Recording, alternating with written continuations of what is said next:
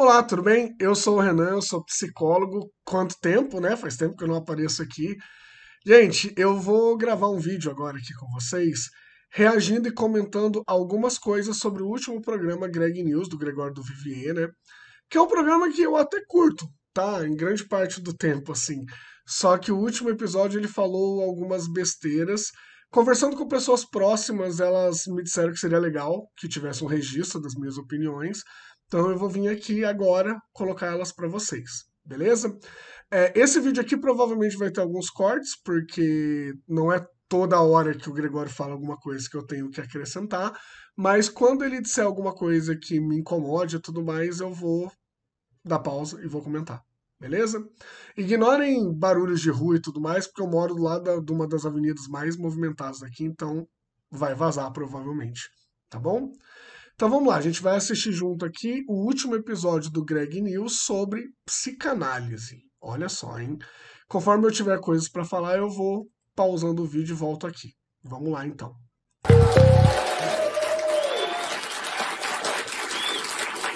Boa noite!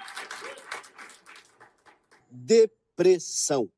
Sim, hoje a depressão vai ser o assunto desse programa. Ao invés de ser uma que na verdade não foi, tá? Vocês vão ver que ele começa falando que o assunto é depressão, ele vai parar no Bolsonaro e ele vai cair em psicanálise. Então, até o tema, se fosse uma redação do vestibular, ele fugiu do tema. Consequência desse programa. Sim, muita gente relata que assistir esse programa deprime. Mas a verdade é que a culpa não é nossa. A gente é só um mensageiro. Quem deprime, gente, é o Brasil. E é preciso ser justo com o Brasil, porque ele é apenas parte de um todo que também deprime, que é o mundo. Uma parte, claro, especialmente cagada do mundo. O Brasil, a gente tem que admitir, é, é, é o menisco do mundo. Porque a única função, gente, do menisco no corpo é se fuder. É uma parte do nosso corpo que nunca chama atenção pelo positivo. Eu vou pular para a parte que ele começa a falar sobre o que interessa. Sei lá se por causa do próprio Bolsonaro, ou da pandemia, ou da mistura horrorosa que foi Bolsonaro e pandemia, o fato é que, durante o governo dele, os casos de depressão no Brasil aumentaram muito. E com isso, é claro, as vendas de uma categoria de remédio bateram recorde. E eu não estou falando só de ivermectina. Sim, porque durante a pandemia, a ivermectina, que é um vermicida, foi o remédio mais vendido do Brasil, mesmo sem eficácia nenhuma comprovada contra a Covid. Sim. Agora a gente já tem um ponto importante aqui. É, o Gregório, nesse momento, ele está fazendo uma crítica da venda da ivermectina, o que tem que ser criticado mesmo, porque não faz sentido nenhum, né?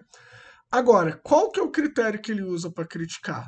Vocês vão ver, ele vai falar que é um remédio que não tem comprovação científica.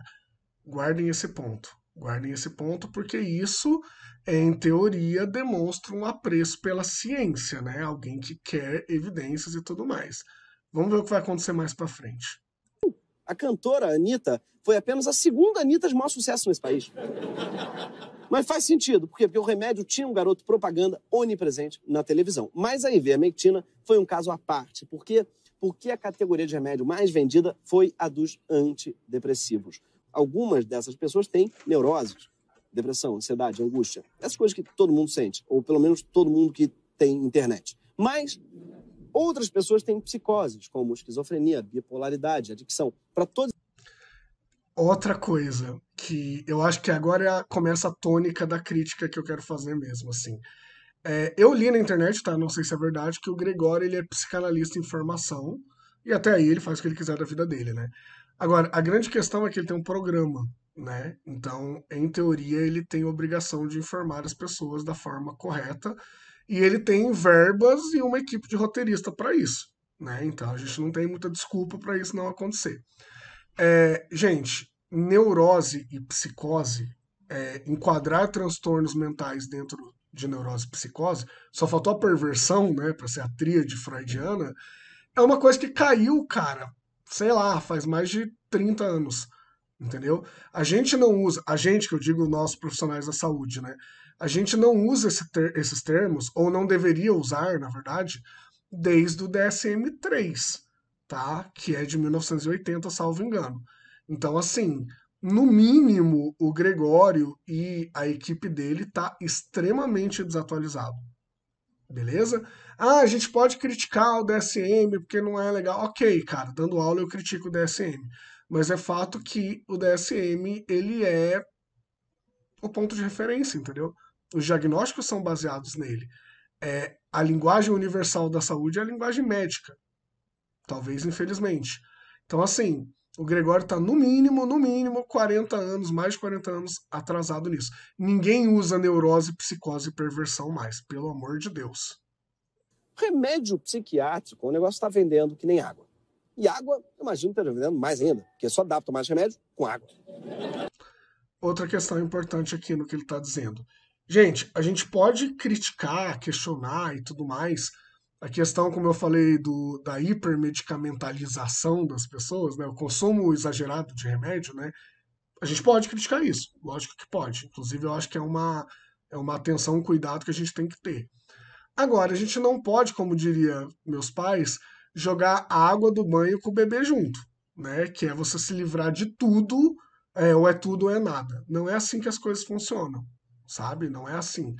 Então, beleza, pode ser que as pessoas estejam consumindo mais remédios do que deveriam? Pode ser. Mas não é por isso que a gente vai descartar o uso de remédio. Principalmente por quê? Porque as evidências científicas, e a gente precisa ouvir cientistas e especialistas nessa hora, as evidências científicas elas apontam que para inúmeros casos o tratamento padrão ouro, né, o tratamento que mais funciona, é psicoterapia e medicamento. Então, assim, a gente pode questionar também, por exemplo, ah, que tem profissionais ruins, desatualizados, que estão passando remédio à toa. Dá para ter essa discussão. O que não dá para questionar é que os remédios têm sim um papel muito importante para muitos casos. Que eu acho que é uma crítica que o Gregório vai fazer agora, como se a gente tivesse que né, parar de tomar remédio, ou como se o uso de remédio fosse simplesmente um lobby da indústria farmacêutica. Não é por aí. Talvez seja tudo um lobby da Minalba. Mas falando sério, em 1990, menos de 3% dos americanos tomavam antidepressivo, tá? Em 2022, esse número tinha saltado de 3 para 23%. Um quarto. Será que isso é porque as pessoas estão só se medicando errado, além da conta? Ou será que é porque o mundo está cada vez mais estressante? Mas por que eu estou falando isso? Porque recentemente foi lançado no Brasil um livro que caiu como uma luva para os interesses da indústria farmacêutica. E ele foi escrito por ninguém menos que Natália Pasternak, aquela cientista que teve um trabalho importante defendendo a vacina durante a pandemia de Covid, em parceria com seu marido, o jornalista Carlos Orsi. No livro, os autores questionam. Ó, importante, tá? Eu não conheço a Natália, quer dizer, conheço o trabalho dela, mas não sou amigo, né? Muito menos do Carlos Orsi. Só que assim, a Natália tem um papel e um respeito absurdo dentro da comunidade científica. Pode conversar com, com cientistas, vocês vão ver isso. E o Carlos Ors tem um trabalho de mais de década de divulgação científica. Não são dois aventureiros que apareceram agora, tá? Não são dois aventureiros. Mas falando sério, a parte grave no livro é que os autores incluem nesse saco de gatos uma prática de saúde mental super importante, a psicanálise. Então, eu não vou nem entrar nos méritos da psicanálise ser ou não ciência e tudo mais, assim, porque isso dá uma discussão danada e não ia caber num vídeo aqui. Só que eu desconfio muito, falei até isso para pessoas próximas, que nem o Gregório nem a equipe dele leram o livro, tá? Porque dentro do que eles colocam como critério de ciência, e a gente pode discutir, é isso que eu estou falando, né? A gente pode discutir isso, mas dentro do que eles colocam como critério de ciência, realmente a psicanálise não encaixa. E a psicanálise faz sentido estar no livro junto com a acupuntura com o escambau, porque nos critérios deles não entra, tá? A gente pode discutir o critério, mas o livro é coerente nesse sentido. E tem outros motivos que eu acho que eles não leram o livro, mas eu já chego lá. Uh, se não há problema em algo não ser ciência, porque o título, que bobagem. Uh, Diana, uh, a gente explica o título no livro, então. Exatamente. Mais um ponto de que nem o Gregório nem a equipe leram o livro de fato. Porque eles explicam, quando a gente olha é, publicações sobre ciência, né, historicamente falando, e o Carlos Orsi, principalmente, ele estudou muito, ele leu muito isso, porque ele é um divulgador científico, né, um jornalista divulgador científico, a tradição de livros de divulgação científica, ela tem esses nomes, entendeu? É bullshit, é coisas nesse sentido. Eles só seguiram a tradição. Eu gostaria de convidá-la a ler aí o Que Bobagem, porque a gente explica o que, que motivou o título do livro. Sim, mas se a Diana perguntou, é precisamente porque ela não quer comprar o livro. E pronto, né? E pronto. Eu tive uma discussão até no Instagram com uma pessoa um tempo atrás, que a pessoa quis criticar e discutir sobre o que o livro falava, sem ter lido o livro. Gente, vamos fazer o mínimo, pelo amor de Deus, né? Ninguém precisa dar opinião de nada. Não é? Não tá, apesar de que a internet parece que ensina a gente que sim. Mas ninguém é obrigado a dar opinião sobre nada. Agora, se você vai dar opinião, faz o mínimo, né? Pelo amor de Deus, gente. Nem sei quem que é a menina que mandou a pergunta, tá? Tô falando porque o, o Gregório tá dizendo que ela mandou a pergunta porque ela não quer ler. Mas a autora diz que a explicação do título tá no livro. Tem que ler para entender. É o título clickbait. Ela aprendeu com esses vídeos do YouTube. Veja. Não, cara, como é que você quer saber sobre o conteúdo de alguma coisa sem ter lido aquela coisa? Não é clickbait. Clickbait é se eles colocassem isso e não explicassem no livro. Aí seria só uma coisa para chamar atenção, como vários vídeos da internet fazem, né? Agora, tá explicado ali. Meu Deus. Que quais são as cinco maiores pseudociências? A quarta vai te surpreender.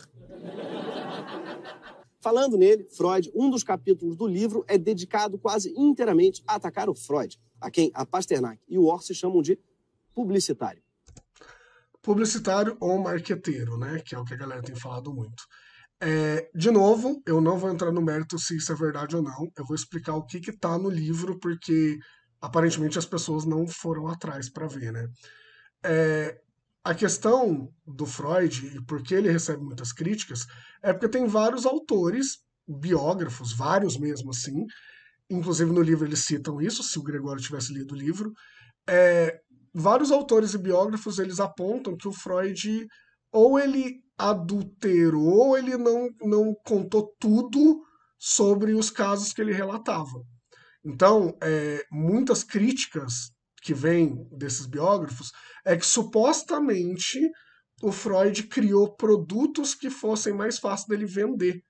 Entendeu? Então, se alguma coisa deu errado, ele não contou. Se alguma coisa aconteceu de um jeito X, ele contou que foi Y, para ficar mais fácil dele vender a psicanálise na época que ele estava criando aquilo. Né?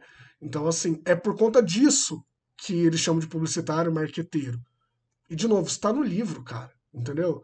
Eu não vou discutir, eu não fui ver, pesquisar a fundo isso, tá? Mas eu sei que tem vários biógrafos que realmente apontam que supostamente o Freud inventou um monte de coisa, tá? Então é baseado nisso que o livro fala que ele é publicitário. Sim, publicitário. Eu não deixava. Próximo passo é chamar o quê? De Firelimer? Especialista em cripto? Sim, o Freud, vale lembrar, ele era neurologista. Ele foi o cara que entendeu que a neurologia sozinha não dava conta de explicar todo o fenômeno mental. Ele é o cara que teve uma ideia absolutamente subversiva, sofisticada, revolucionária, que era, sabe o quê? Escutar. Ó, que fique gravado aqui para ninguém me encher o saco depois também. Gente, o Freud, a parte as críticas, né, porque eu não vou investigar isso, mas o Freud, ele foi extremamente importante, extremamente importante. Ele é o pai da psicologia, como a gente costuma falar, né? E realmente, cara, o Freud teve observações muito boas. O Freud foi um cara que entendeu que as coisas não são explicadas somente pela fisiologia, como era até a época dele. Então, assim, o Freud ele tem um papel muito importante, tirando as críticas, como eu falei. É, eu tenho muito menos problema com Freud do que com os freudianos hoje em dia, mais de 100 anos depois que ele publicou a interpretação dos sonhos, entendeu? Então, assim, o Freud realmente teve importância. Mas, calma, né? E escutando os pacientes, a maioria mulheres, o cara entendeu com uma tristeza, uma angústia ou uma ansiedade eram capazes de adoecer tanto quanto uma tuberculose. E essa comparação com a tuberculose não é minha, é dele. Freud produziu uma obra literária tão grande em tamanho e importância que ele mudou toda a maneira como a humanidade se vê. E a única coisa que ele tem de publicitário é que ele inventou o superego, em homenagem ao Nizam Guanais. Mas, falando sério, Freud está para o campo da saúde mental como Newton está para a física, ou Sócrates para a filosofia? Com a diferença de que a física ainda considera o Newton e a filosofia ainda considera o Sócrates. Né? Agora, hoje em dia, 2023, quem pega o que o Freud falou e aplica praticamente do jeito que ele falou, é maluco, né? Eu respeito psicanalistas que se atualizaram, né? Do mesmo jeito que assim, o Skinner, que é da análise de comportamento, que veio bem depois, se alguém quiser aplicar na clínica o que o Skinner falou, é maluco também. Porque as coisas evoluem, gente.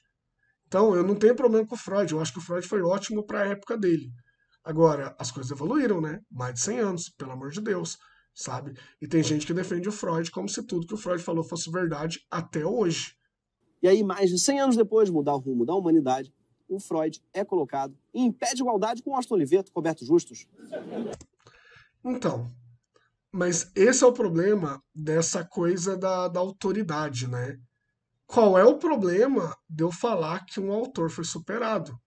Qual é o problema de eu situar alguém na época dele como importante e depois eu entender que esse cara não tinha como prever tudo que ia acontecer 100 anos depois? Que viés de autoridade é esse? Entendeu? Porque o velho falou, eu tenho que abraçar para sempre? Pelo amor de Deus, gente.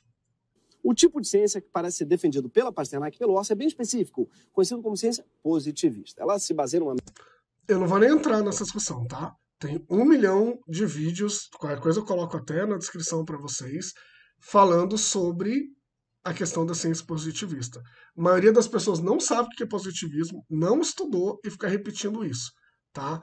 Na verdade, no jargão aí do uso do senso comum, quando alguém fala que a ciência é positivista, está falando de uma ciência que busca evidências sólidas, entendeu? Que busca experimentos sólidos. Mas eu não vou discutir isso, eu boto links aqui para vocês. Metodologia de validação que de fato não é seguida pela maioria das psicoterapias. Por quê? Porque no coração dessa metodologia está a ideia de repetição. É necessário repetir o mesmo tratamento, igualzinho, um número enorme de pessoas, e é preciso também dividir as pessoas em grupos. Gregório não entende muito sobre experimento científico, né? falar que é, não dá, ou que a ciência exige uma repetição igual, uma replicação idêntica, não entendi nada do experimento científico, né? Agora, é fato que a maioria das terapias da psicologia não são científicas né, no, no cerne delas. Um que receba o tratamento, outro que tome um placebo para comparar. Como é que você faz isso com psicanálise? Mas... Justamente, você não faz. E é esse que é o problema, entendeu? É esse que é o problema. Gente, existem abordagens da psicologia. O que o, de, o Gregório está é, definindo, resumindo, explicando, é, a grosso modo, o que a gente chama de ensaio clínico. Ensaio clínico randomizado, com duplo cego, aquela coisa toda, né? E ele vai dizer assim: não dá para fazer isso com psicoterapia. Dá! Não só dá, como tem vários trabalhos. Quando a gente vai falar sobre padrão ouro, que técnica que eu uso para atender alguém? É baseado em trabalhos que existem, entendeu? Agora, existem abordagens da psicologia que ou não produzem o suficiente para ter solidez né, científica, e tem abordagens que simplesmente não se encaixam. E eu acho que talvez seja até mais o caso da psicanálise, porque eu acho que a galera está tentando demonstrar eficácia. Eu vejo coisas nesse sentido. Só que os experimentos costumam ser bem fracos em termos de, de nível de evidência, sabe? E talvez porque o próprio fundamento da psicanálise ele seja complicado da gente conseguir provar, entendeu? Sobre id, ego, superego, essas coisas todas. Isso é muito complicado de eu, de eu demonstrar. Agora, isso não quer dizer que porque é complicado de demonstrar eu tenho que tomar como verdade, né? Principalmente porque quando a gente está falando de psicoterapia, a gente está falando de algo que você vai usar no outro. Você vai interferir na vida do outro, vai afetar a vida do outro. Como que eu vou partir do ponto que algo funciona, vou usar no outro sem ter prova nenhuma? Isso é irresponsabilidade. Dentro da ciência, a gente parte do princípio da hipótese nula. Eu parto do ponto que não funciona para eu não usar. Então, se eu uso alguma coisa em alguém, eu tenho que ter prova de que funciona, na verdade. Que é, até o Bolsonaro falou, várias merdas durante a pandemia, uma delas foi: ah, eu não tenho prova nem que funciona, nem que não funciona, então eu vou usar. Não. Se eu não tenho prova de que funciona, eu tenho que partir do ponto que não funciona, porque pode ser que eu afete alguém com isso. Mas vamos seguir no vídeo que eu tô começando a ficar irritado já. Se trata um, com uma pessoa com um psicanalista placebo Chamam, chamam coach? Chamam chat GPT? O mais doido é que o próprio conceito de placebo já prova que a mente tem um poder que a ciência positivista não explica. Explica. Tem vários trabalhos sobre placebo, inclusive experimentos de, de ensaio clínico e tudo mais. Como eu falei, nem o Gregório nem a equipe dele estão atualizados ou não entendem direito como a ciência funciona. Fora que é impossível aplicar o mesmo tratamento a pessoas com questões tão diferentes e singulares. E essa é precisamente a vantagem das psicoterapias. Mas isso não quer dizer. Gente, é lógico que cada ser humano é um indivíduo único. Ninguém vai ser doente, né? Vai ser ignorante de falar que não. Só que cada indivíduo ser único não quer dizer que a gente não tenha leis e processos que abrangem toda a humanidade. Caramba, o próprio Freud falou isso, entendeu? Quando você fala de id, ego, superego, ou, ou mecanismos de defesa e recalque, sei lá o que, ele está falando de coisas que abrangem a humanidade toda. Toda teoria, na verdade, principalmente a da psicologia, ela parte do ponto de tentar explicar um fenômeno que seja universal dos seres humanos. Senão não tem como você instrumentalizar ou padronizar uma técnica. Isso é básico, sabe? Ah, você deve ter notado que eu estou usando o termo psicoterapias assim, no plural, porque as terapias são plurais mesmo. Aliás, existe uma diferença entre o psicanalista e o psicólogo. Eu acho importante explicar aqui, para a coisa ficar clara. Parece muito começar uma piada, né? Existe uma diferença entre psicologia e um anda. O que ele vai falar agora é muito problemático, tá? Muito problemático. Porque olha a diferenciação que ele vai fazer entre psicólogo e psicanalista bonito e o outro elegante. Não. Existe mesmo. Tá? A psicologia é uma formação universitária, para começar, já a psicanálise é um estudo que você faz depois de formado em. Não necessariamente a gente estuda psicanálise dentro do curso de psicologia. A formação em psicanálise, o curso de psicanálise, você pode fazer fora e você não precisa nem fazer depois da psicologia. Você pode ter feito veterinária e fazer psicanálise. Tá? Não, isso, o que ele está falando, não tem nada a ver. E assim, todo mundo que fez psicologia é psicólogo, tá? Apesar da gente estudar psicanálise dentro do curso.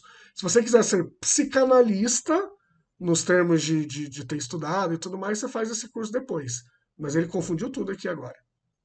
Alguma graduação, e não precisa ser de psicologia, pode ser de letras, por exemplo. Você ah, ele falou. O curso que me veio. Ele falou isso, fazendo justiça agora, ele falou. Eu achei que ele não tivesse falado. A cabeça. E depois você vai para um curso de psicanálise. Muitos psicanalistas também são psiquiatras, ou seja, fizeram a faculdade de medicina e depois foram para psicanálise. Psicólogos e psicanalistas têm uma coisa em comum: eles buscam aliviar um tipo de sofrimento que afeta, sobretudo, a nossa cabeça. O que eu acho que, na verdade, aí sou eu me metendo em áreas que não são as minhas, mas assim, eu acho que esses cursos de psicanálise eles tinham que obrigar, né, ser pré-requisito, que a pessoa tivesse feito, sei lá, medicina, psiquiatria ou psicologia. Porque de verdade, assim, eu fico pensando, os cursos normalmente são mais curtos, tá? Um ano e meio, tipo uma duração de pós, normalmente, tá? E aí eu fico pensando o quanto de recurso que falta, entendeu? Você estuda um ano e meio de psicanálise e você é psicanalista. Só que aí antes você fez engenharia. Cara, sério que não falta nenhum outro recurso? Em um ano e meio você aprende tudo que precisa? Que é diferente de você ter feito psiquiatria e psicologia antes, né? Isso já tem a base, né? Mas o psicólogo geralmente tem uma abordagem mais prática para encontrar uma solução que torne a pessoa mais adequada ao mundo. Olha o quanto isso é problemático. Olha o quanto isso é problemático. Ele está dizendo que a diferença da psicanálise do psicólogo, né? O psicólogo é, olha só, ele está falando de psicólogo como se na verdade existisse só duas coisas, psicanálise e o restante da psicologia, sendo que o restante da psicologia tem zilhões de abordagens dentro.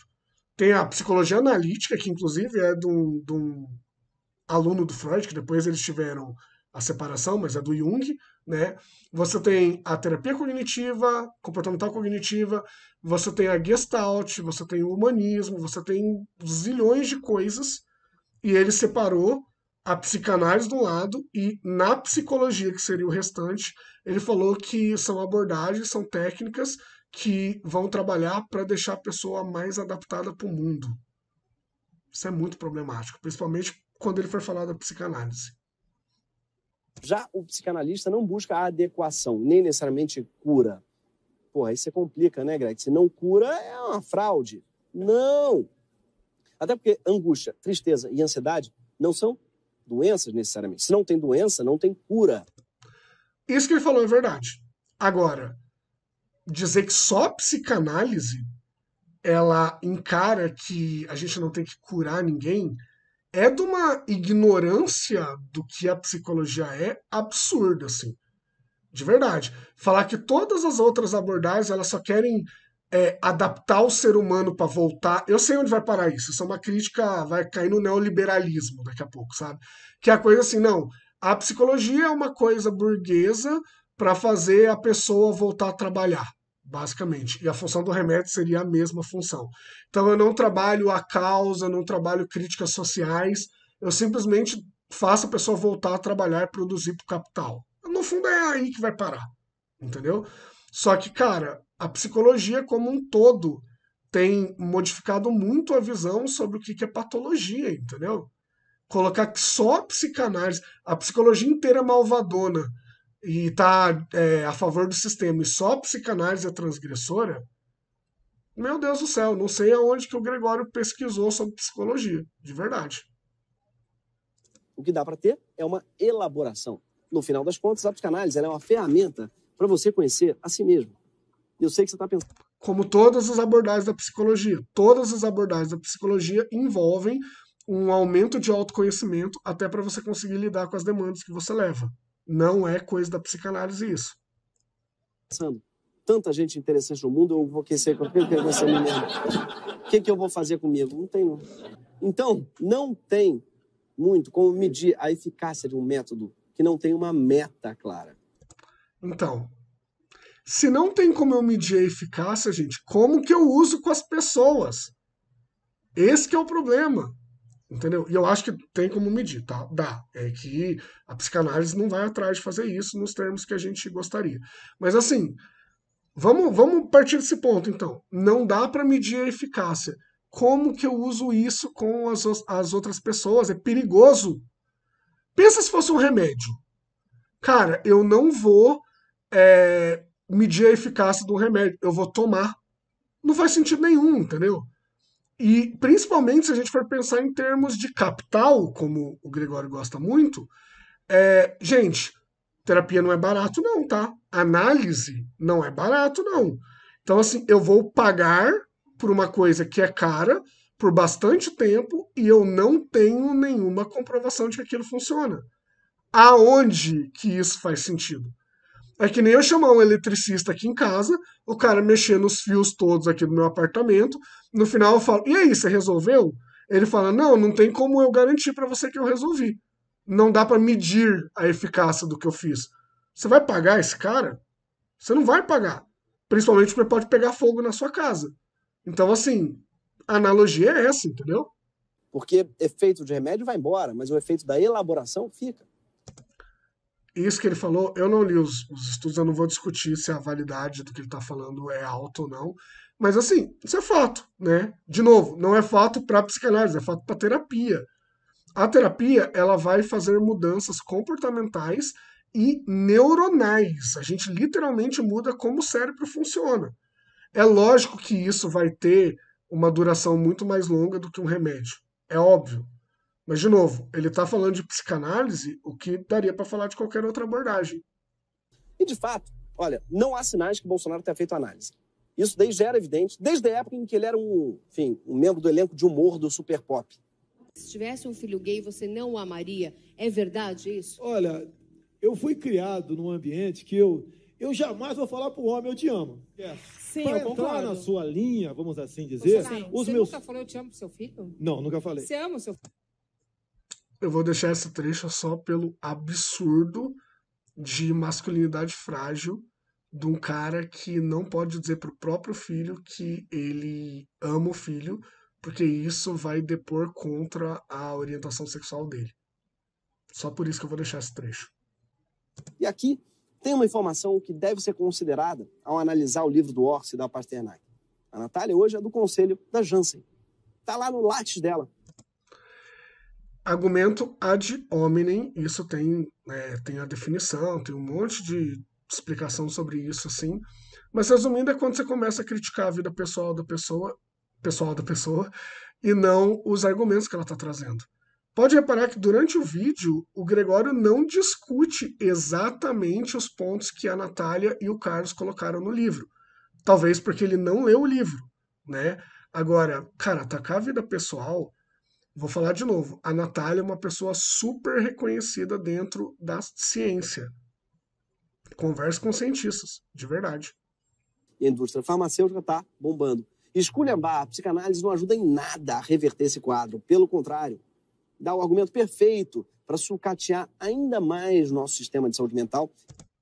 Olha só, é, isso que ele está falando seria válido se a gente estivesse criticando a psicologia de modo geral, tá? Quando a gente aponta os problemas da psicanálise, a gente está criticando uma abordagem da psicologia.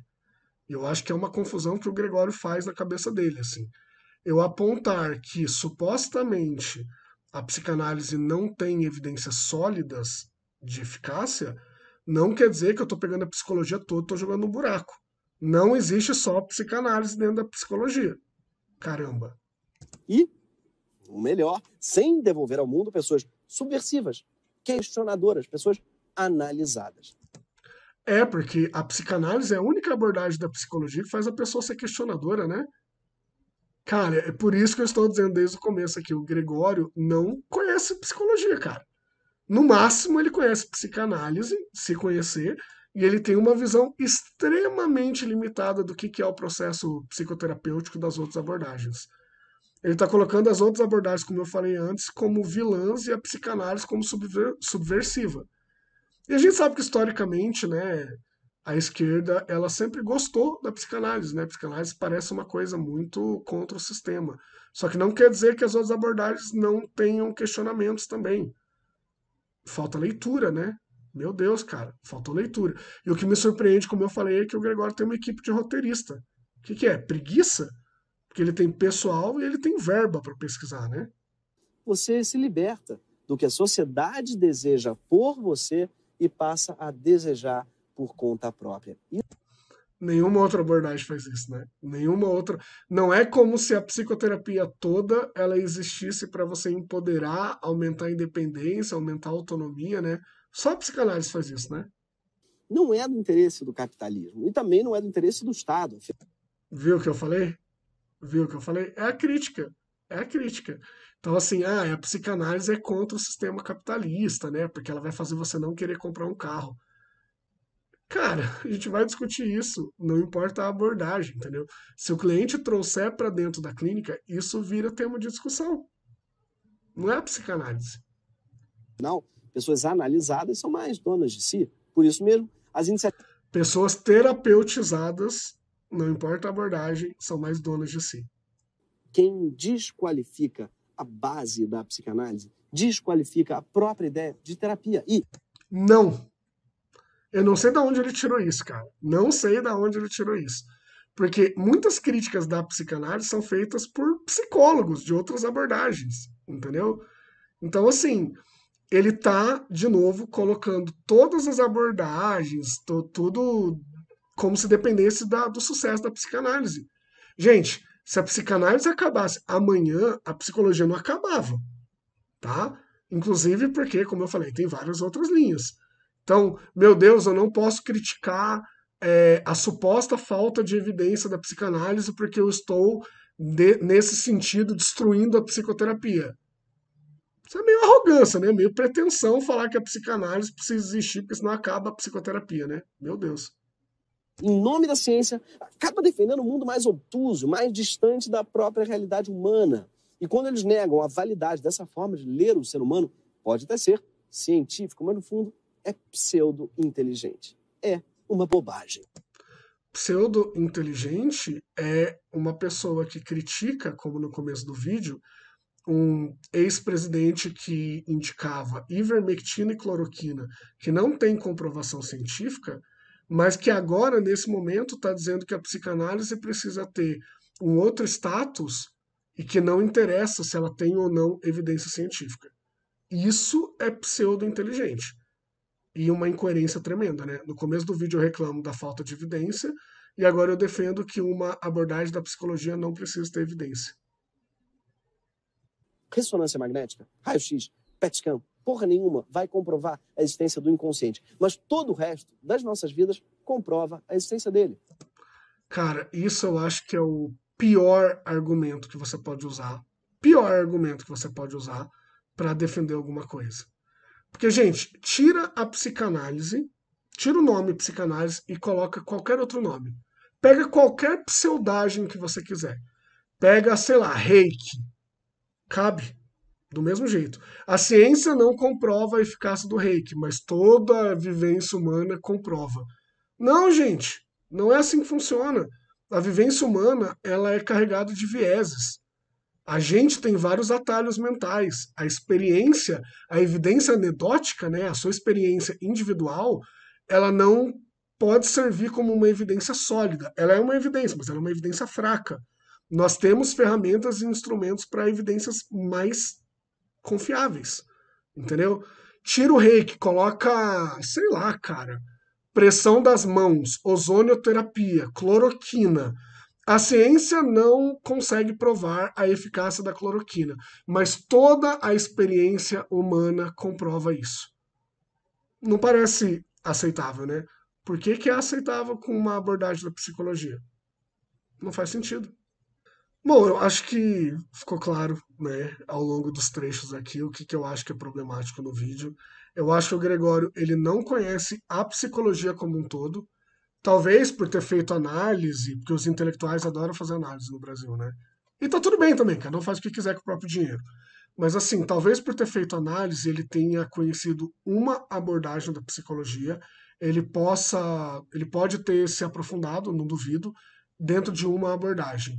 Agora, para gravar um vídeo sobre psicologia, psicanálise, ciência e tudo mais, você tem que pesquisar um pouquinho mais, né? O Gregório pode entender de psicanálise, mas ele não entende de psicologia de modo geral, como os apontamentos que eu fiz ao longo do vídeo, e ele conhece menos ainda do que é ciência, muito menos. Agora, o que me choca é que ele tá na HBO fazendo isso. Entendeu? Que é um puta canal, cara, que tem séries incríveis e ele vai gravar um programa como esse cheio de besteira, cheio de bobagem, né? Então assim, você tem verba, cara, você tem equipe, chame profissionais da área, chamem pesquisadores, tenha críticas. Essa discussão, ela tá rolando na psicologia e ela é extremamente válida. Agora, cara, tem argumentos, você não precisa atacar a vida pessoal de ninguém entendeu? É só você entender, como eu falei, o que, que significa a ciência psicológica e o que, que significa o fazer científico, experimentos e tudo mais. Eu espero que o Gregório não tenha com os outros temas do programa dele a mesma preguiça que ele teve com esse.